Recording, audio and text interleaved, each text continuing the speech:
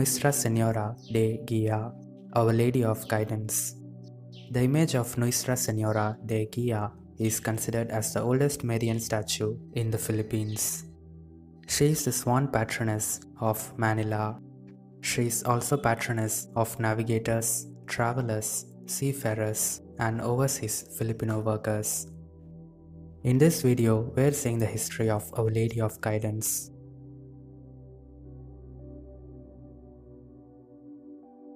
Our Lady statue is made of molave wood and stands about 50 centimeters. Our Lady is characterized by dark skin and long light brown hair. The image depicts the Immaculate Conception. There were different historical theories regarding the origin of this image. One theory says that the image was brought by Ferdinand Magellan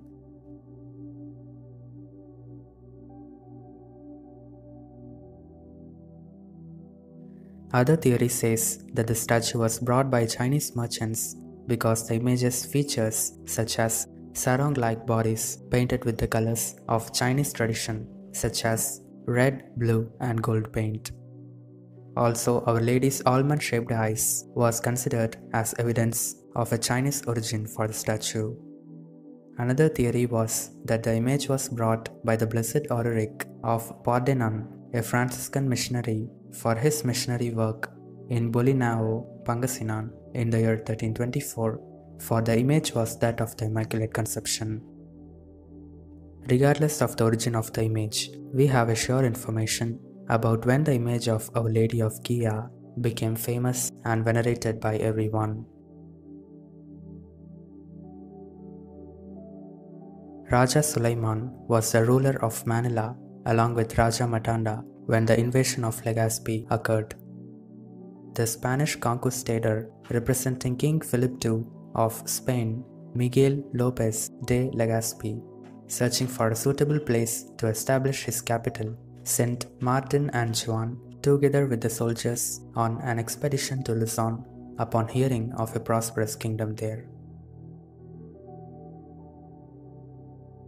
According to the annals of the Manila Cathedral, when the crew of Miguel Lopez de Legazpi came to Luzon on May 19 in the year 1571, they discovered a group of animist natives venerating a statue of a woman placed upon a pandan leaves bush.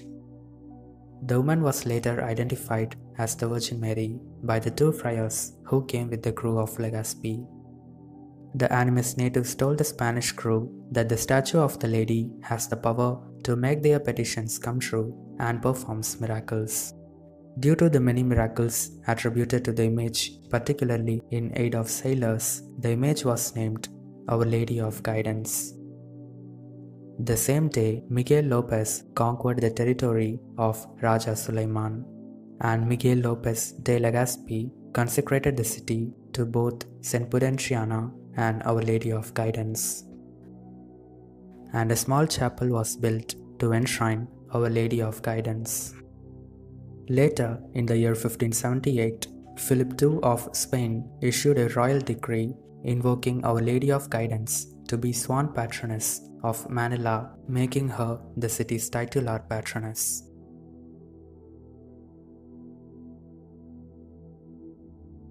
The Church of La Ermita began as a simple shrine made of bamboo, nipa, and molave wood that was built to enshrine the image of Our Lady of Guidance. The church was damaged many times due to earthquakes. In addition, the image had been transferred to the Manila Cathedral for safety of the statue during the British occupation of Manila. Later was built a more permanent stone church in the year 1810 and the image was returned to the church in the year 1918.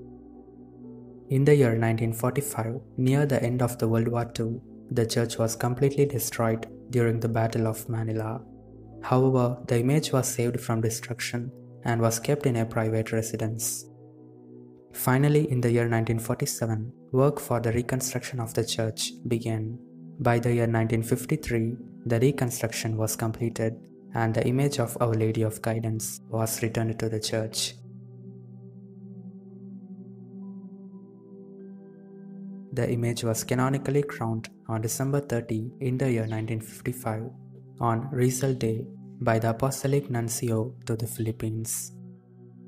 The image of Our Lady was presented with a gold cane by a Spanish admiral for being saved from a storm at sea after invoking Our Lady.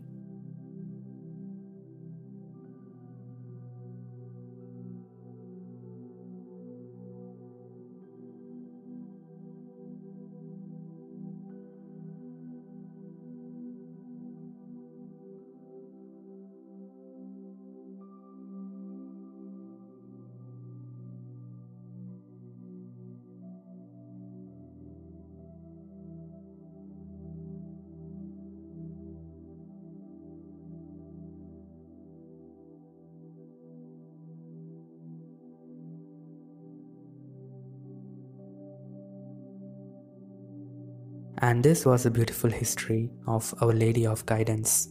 Thank you so much for watching.